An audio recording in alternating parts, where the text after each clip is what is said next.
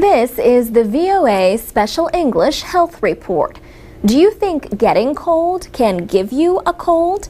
Is it bad to drink milk when you have a cold? Can chicken soup cure a cold? Ranit Mishori is a family medicine doctor at Georgetown University Medical Center in Washington. She says colds are more common in winter, but not because of low temperatures. The cold weather just means people stay inside more, often with other people. And the way the common cold virus is transmitted from one person to another is through handshakes, through sneezing, or through coughing on one another. Adults generally get two to three colds a year. Children are likely to catch four or five.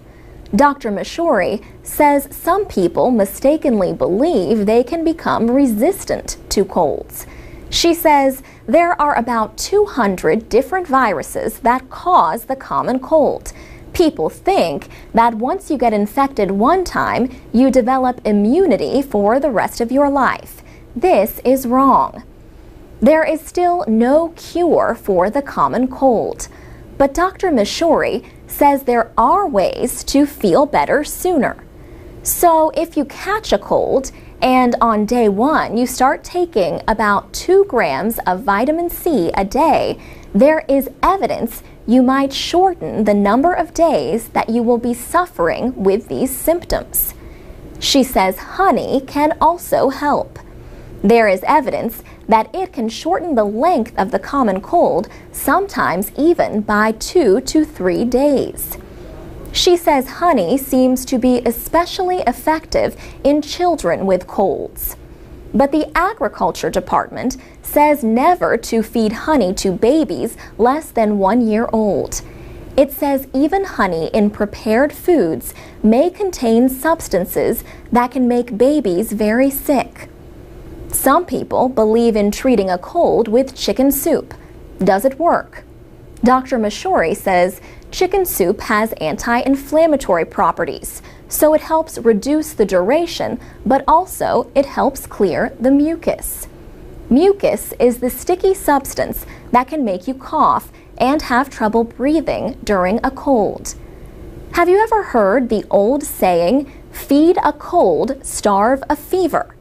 Dr. Mishori says this is not necessarily a good guideline to follow. She says if you have a cold but do not feel hungry, then don't eat. But you have to drink a lot, and you can drink water or tea, anything that gets fluids into your body. That's very important. But what about drinking milk during a cold? Some people think it only causes more mucus. Dr. Mishori says yes and no. Dairy products do not cause increased mucus, she says, but they can thicken the mucus. She says it's possible that discomfort is somewhat more enhanced when you drink milk. But obviously, if you're a baby and that's all you drink, you should not stop giving babies milk. For VOA Special English, I'm Alex Villarreal. MP3s, podcasts, and transcripts of our reports are at voaspecialenglish.com.